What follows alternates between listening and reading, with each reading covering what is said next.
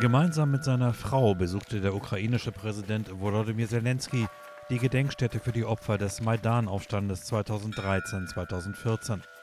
Anlass war der sogenannte Tag der Würde und Freiheit, an dem auch an die Orange Revolution von 2004 erinnert wird.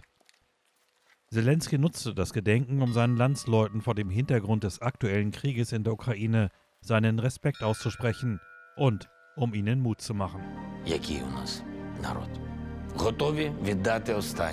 Wir können ohne Geld dastehen, ohne Benzin, ohne heißes Wasser, ohne Licht, aber nicht ohne Freiheit, sagte er in einer Videoansprache. In der Zukunft würden sich die Ukrainer auf dem Unabhängigkeitsplatz in Kiew versammeln und den Tag des Sieges der Ukraine feiern. Und zwar in einem friedlichen Kiew und einer friedlichen Ukraine. Am Sonntag hatte Zelensky von fast 400 russischen Artillerieangriffen auf ukrainische Stellungen berichtet. Dabei würden die heftigsten Gefechte in der Region Donetsk stattfinden.